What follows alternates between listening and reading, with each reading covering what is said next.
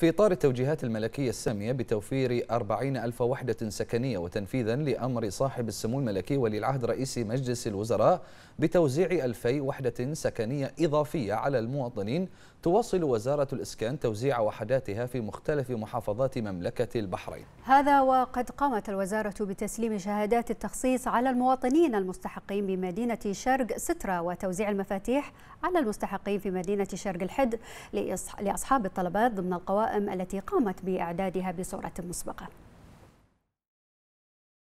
بوتيرة عمل متسارعة تواصل وزارة الإسكان.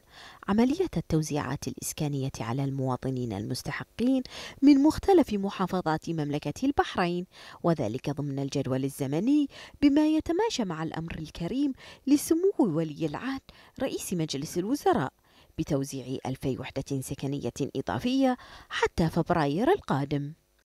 واصلت الوزارة اليوم آه، عملية توزيع آه، شهادات تخصيص ومفاتيح لوحدات سكنية في مشروع شرق سترة الإسكاني ومشروع شرق الحد الإسكاني.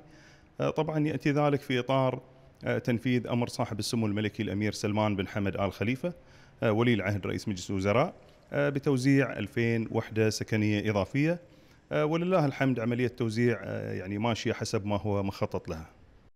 هذا وقد ثمن المواطنون الجهود التي تبذلها الوزارة لتسليم الوحدات الإسكانية في وقت قياسي بالإضافة إلى سلاسة الإجراءات التي يعمل عليها القائمون على عملية التوزيعات.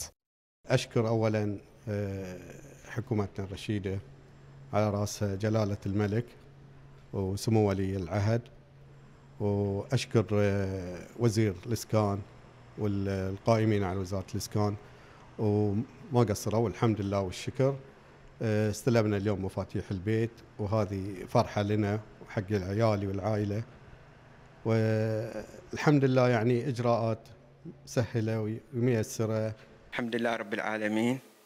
آه الله رزقني الوحدة السكنية وأشكر الحكومة وأشكر رئيس الوزراء وأشكر الملك وأشكر جميع اللي يشتغلون في الإسكان الحمد لله الإجراءات سلسة يعني ما في تأخير ولا شيء.